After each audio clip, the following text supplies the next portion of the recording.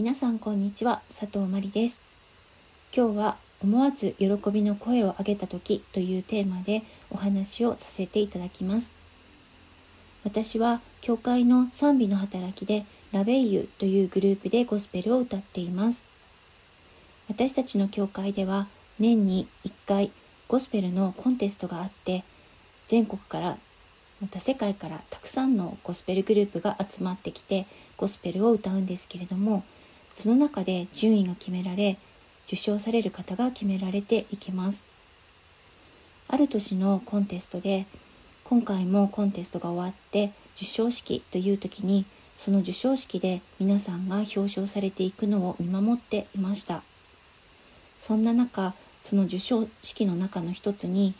中野賞という特別賞があるんですけれどもその時にラベイユという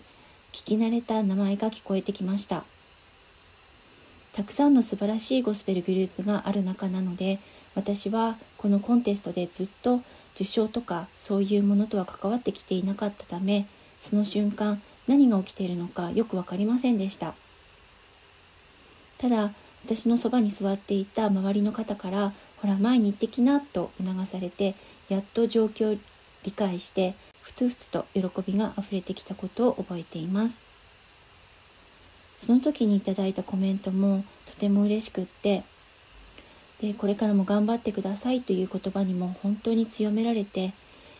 未だにその言葉に支えられていて神様がその方を通して私たちを励ましてくださったんだなと信じています。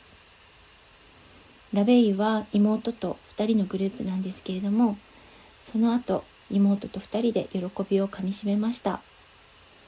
神様はこんな私たちを忘れておられず神様からの一方的な愛が注がれているのをとても強く深く感じた瞬間でもありました神様に心から感謝しています最後までお聴きくださりありがとうございました。